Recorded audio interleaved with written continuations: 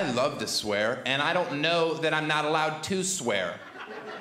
Right? What if I die, get up to heaven, and God's like, hey man, welcome to fucking heaven? I'm like, what did you say? He's like, welcome to fucking heaven. I'm like, you can swear? He's like, fuck yeah! It's fucking heaven. Like, oh. See, I was always raised as a child never to swear. He's like, where in the Bible does it say you can't fucking swear? I'm like, no fucking where.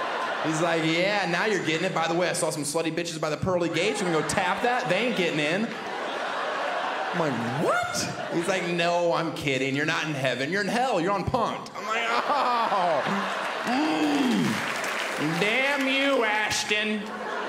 That one was elaborate. Way to go the extra mile. Even in the afterlife, you're a douchebag. Hope you enjoyed charity banging that geriatric for eternity. Am I right? It's so gross.